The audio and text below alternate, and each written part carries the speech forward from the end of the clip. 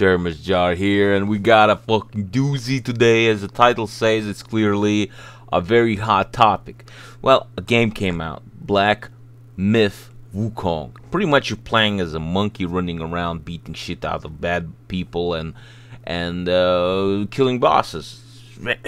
You know, it's it's actually a fairly simple, good game. I pretty much enjoyed it. Well, why am I even bothering with this uh, report here? I'll be honest. Um, the outspark with the diversity, with gay inclusion into it, and overall game journalists bashing this game for being slightly more traditional is baffling me. So, without going completely political, which I will right now, I personally am very against the um, diversity thingy and making the uh, games more gay.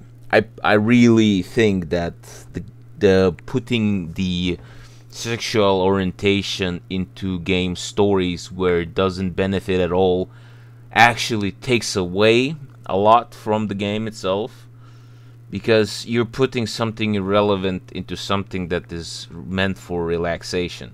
You're supposed to relax, not be entangled in gayness uh, dilemmas.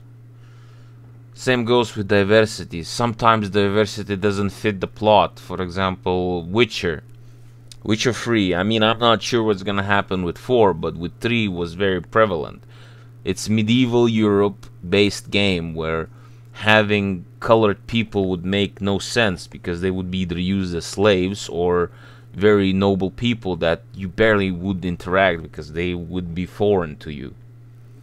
Same goes with many other games that are set uh, like uh, medieval that that Czech game medieval thing. I can't come up with the like, chivalry. No, that's not the one. But you know what I'm talking about? That medieval RPG game.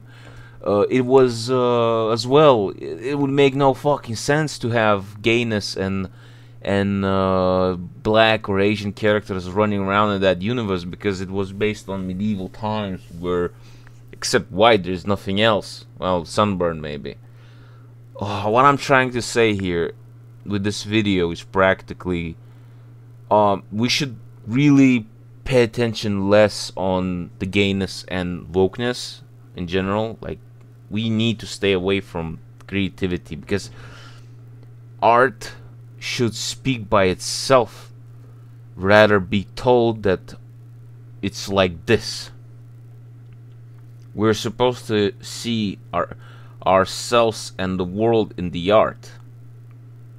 And artists will only express their art the right way if we can actually relate to it. But that's my opinion. And I consider video games as art because I grew up with this stuff. And uh, seeing you know seeing my library literally riddled with fucking 20 year old 10 year old games and I can't handle to play the new ones it's kind of sad I mean I do regret buying a computer just to play the same stuff I played like 5 years ago 7 years ago I'm playing Zomboid, which is from 2011 or something, or 10.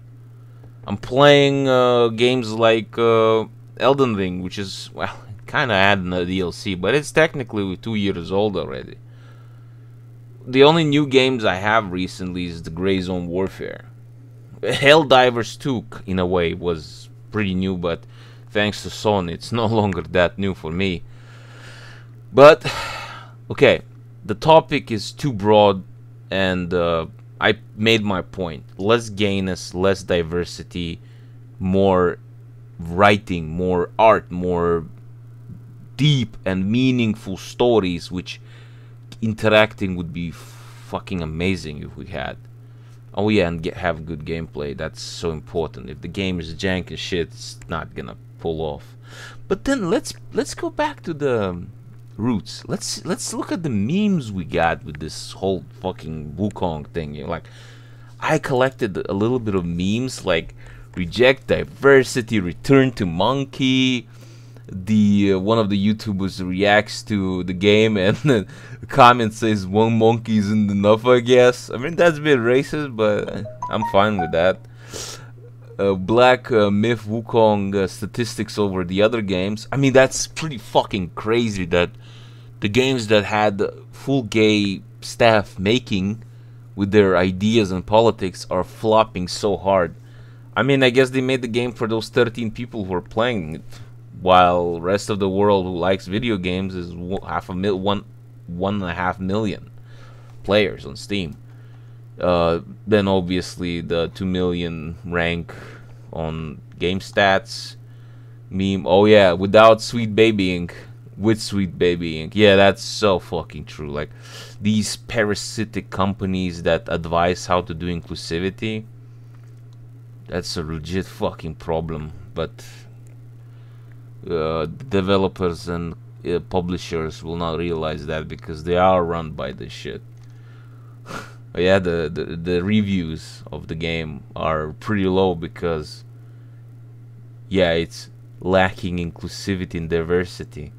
Look what happened to your show Acolyte. This is very accurate depiction of what happens when there's too much of it.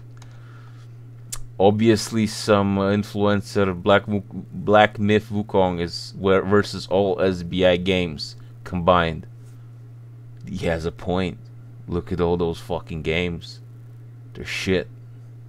Well, they're made, yes. Some of them still have more players, but in the end, they die out since it's just, it's a slop.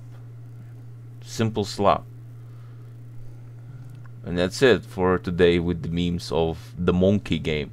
I mean, there's uh, another folder of Hive, but I think sh I shouldn't show it since it's very, very sketchy but the memes there are just as funny related to inclusivity games. That there was this one game called Dustborn. I think I still have it on Steam. Uh, yeah, there it is. I visited to check it out. I think it's it's like propagating LGBTQ plus whatever. It's like a fucking barcode, and uh, it's very much uh, how do you say gay?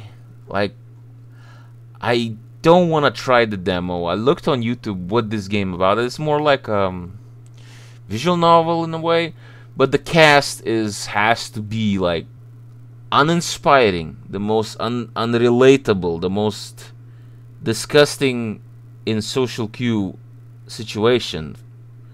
That makes no fucking sense. Like these people are none of them are same and uh, I guess this is a point given by the game to spread awareness and etc etc but i am me as a person who sees this how am i gonna fucking see this as a normal person there's games that i don't like but i have respect but looking at this i am just like this is simply fucking gay that's all i say this is sad i mean Call me uneducated, call me mean, call me bigoted, call me whatever you want. Because this whole fucking video is me ranting on video games being too fucking gay. Or there's lack of good games in general. Nevertheless, I ruined my day so you can hear me talk about this.